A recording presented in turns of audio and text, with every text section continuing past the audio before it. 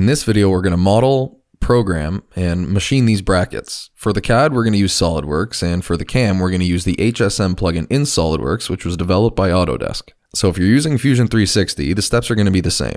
The machining's done on this converted Precision Matthews PM30MV mill, and it's running a Centroid Acorn control. The chapters in this video are called out in the description, so feel free to skip ahead if any of this doesn't interest you.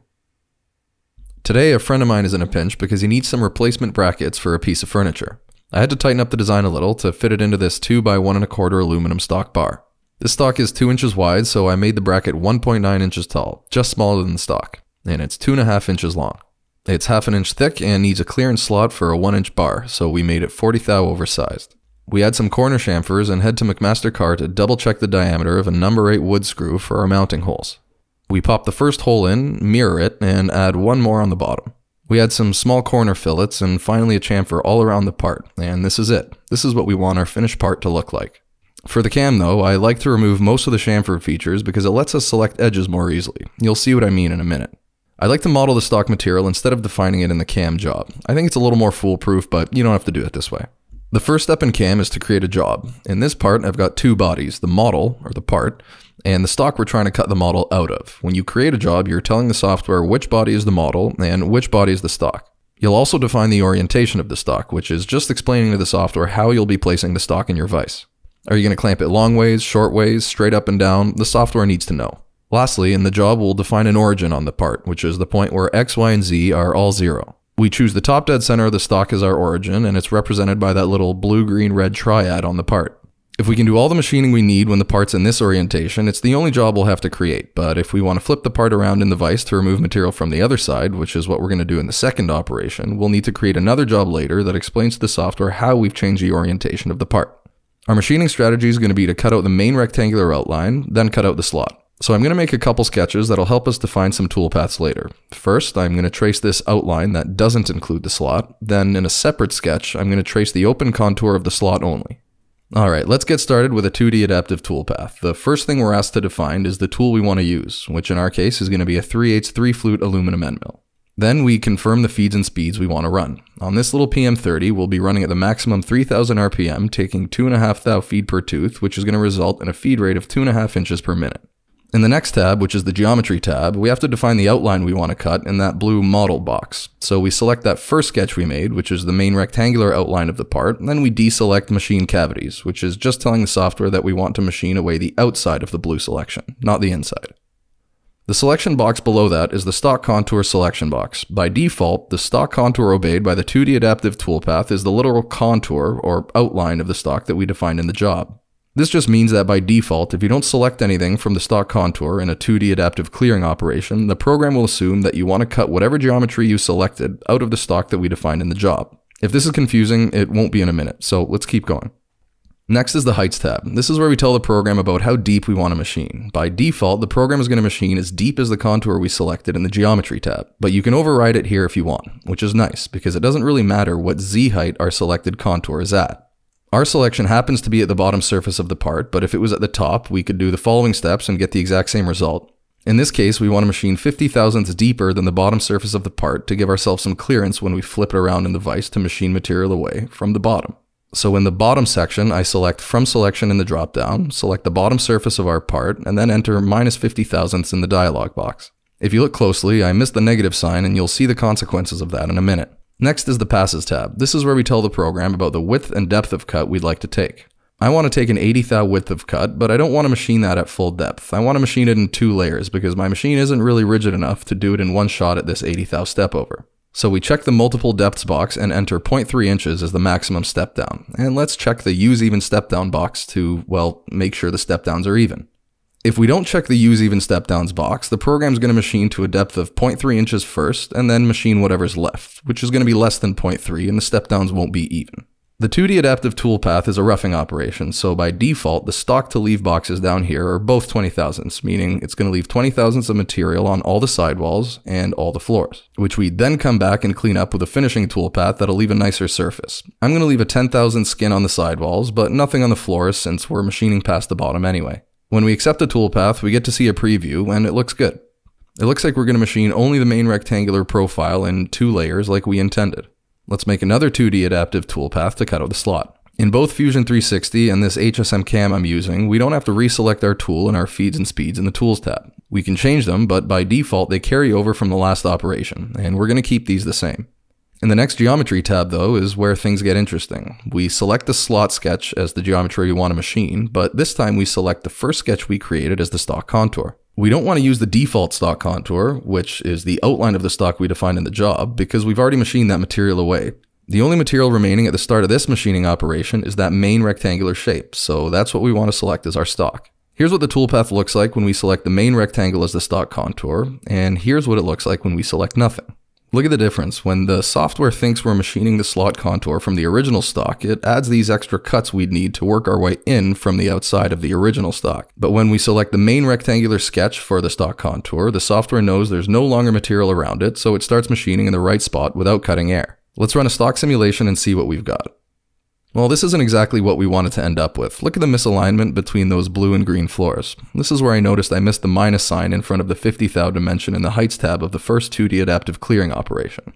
Let's go back and fix it. We left that 10 thou skin all around the sides of the part, so let's clean it up with a 2D contour. Our tool and feeds and speeds carry over from the last operation, and we'll keep those the same. So we go to the geometry tab and select the perimeter of the part that we're trying to clean up.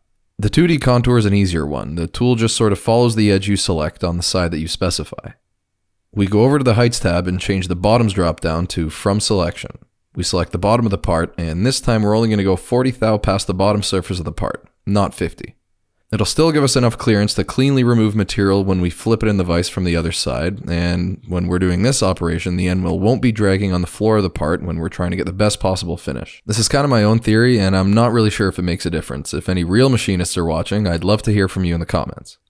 There's one more option in the passes tab I like to change. It's the finishing overlap. This is just the distance that the tool moves past the starting point to get a cleaner finish. With a tool this size, I like to set it to about 50 thou. We accept the toolpath and can take a look at it. It looks good. It goes all the way around the part, and this is our 50 thou finishing overlap. When we select all the toolpaths up to this point, we can see that the 2D contour finishing path doesn't go quite as deep as the adaptive paths, which is what we asked for. Alright, so now for the easy stuff. Let's put the holes in. We're going to spot drill the holes with a 90 degree chamfer tool, then drill them. You should be spotting the holes with a tool that has an angle as wide or wider than the drill, which in my case is about 120 degrees, but for softer materials like aluminum and plastics, I find it doesn't really matter and this works just fine. We select the three holes, drill 50 thou past the model top, add another drilling operation with the actual drill and do the same thing, but this time go a little past the bottom of the part. Then we face the part off with the Tormach Superfly and break the sharp corner edge with the chamfer tool. We just used the chamfer tool to spot the holes though before changing to the drill. So now we're creating a toolpath that's going to ask us to change the tool back to the chamfer mill. But we can drag the chamfering operation up in the tree to take place when the chamfer tool was last loaded. The first toolpath to run is going to be the top path, then the second, third, and so on. So it's a good idea to group these operations by tool. Here we're going to run all the toolpaths that use the 3 8 end mill first, then all the toolpaths that use the chamfer mill, then the drill, then the superfly. Doing this is going to save us some tool changes, which is extra important for me because I don't have an automatic tool changer. Let's do one more stock simulation to make sure we're on the right track, and everything looks good. Our stock is 2 and 5 eighths long, so let's set it up in the saw and bring it to size. These are all the tools we need to run the CAM program we just made. Before we can use them though, we have to make sure the CNC controller knows how much each tool is sticking out of the tool holder. In the CNC world, this is called the tool offset. We pick a reference surface with the probe, and in the control, we can set the tool offset for each tool with respect to this reference surface to let the software know where exactly the tooltip is. Next, we put the stock in the vise in the same orientation we defined in the job, and show the control where we define the origin by using probing routines to find the top dead center of the part. The point that the probe is touching now is the origin which we defined in CAM, so now the control knows where our part is in space, and where in space it should run the toolpaths we just created. So we're ready to start machining. Let's turn our toolpaths into G-code for the control by posting the code. Then we load the code into the controller and hit cycle start. This is where the machine is going to go through all the machining operations we programmed in CAM. We start by cutting out the main rectangle shape with the three flutes aluminum end mill, so that's what the controller is going to ask us to load up first. Watch the way the tool enters the stock. It's at the bottom right corner, just like it does in CAM. Then it cuts out the shape a layer deeper and moves on to the next toolpath. This is where we start cutting out the slot in the same way, taking 80 thou step overs to clear the first layer, then we run that same toolpath one layer deeper. When that's done, the 2D contour cleans up the walls by removing that 10 thou skin. Next, the control asks us to load up the chamfer tool, and after pressing cycle start, it'll spot the holes and chamfer the edges. When that's done, we load up the drill to put in the holes, then the superfly to face the part. Here we're putting in the countersinks for the wood screws. I wasn't sure how deep to drill them, so I didn't film this part in cam, but I'm just repeatedly spot drilling deeper and deeper here until I find the depth that'll give us the perfect countersink. Then I program the original spot drilling operation to go down to this depth, so for the next copy we make, we'll have these countersinks in before we drill the holes. The truth is, I usually hack my way through the first part, making improvements along the way. Then by the time we're machining the second copy of the part, the program's perfect and it just takes a beer and some tool changes in the garage. And so once you've nailed the program down, you can make as many of the copies as you want if you've got enough beer. So let's keep hacking our way through the first part. We've got one side done, but now we have to remove all the material from the other side. This facing operation at multiple depths takes all the stock material off the bottom. I'm the first to admit that learning CAM can feel a little like drinking from a fire hose. There's all these tabs and values we have to define just right to get what we want. But for 90% of the parts I make, this is all I had to learn. Look at this part. If it looks complicated to machine, it isn't. The number of toolpaths might look intimidating, but look closely at the toolpaths in this job.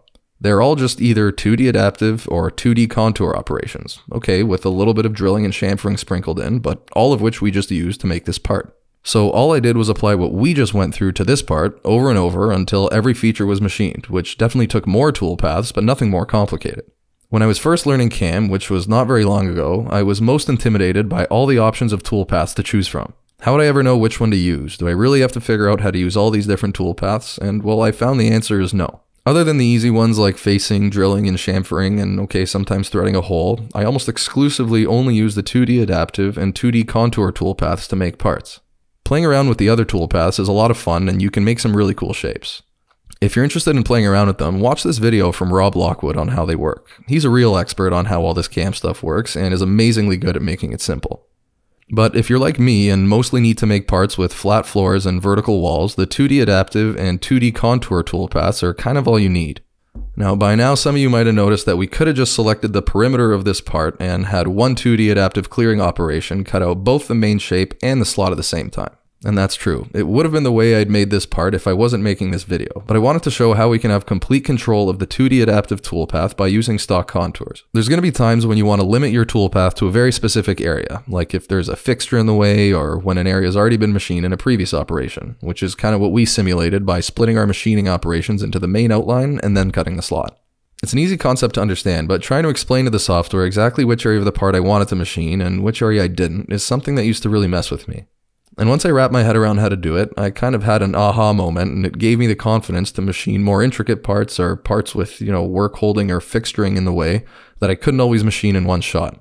Like this knife. Look at all the clamps at the top of the part. I had to cut the bottom of the knife out first. Then when I flipped the clamps at the bottom of the knife, I could machine the top, but there's no way I could have done this in one operation. Thanks for watching guys. I hope you enjoyed the video.